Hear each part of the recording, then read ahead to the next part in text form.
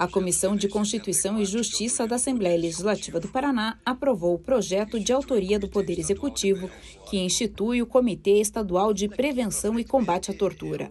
Segundo o governo, a proposta tem o objetivo de promover uma adequação da legislação estadual ao protocolo facultativo da Convenção Internacional contra a Tortura, proposta pela ONU, definido em Assembleia Geral em 2002.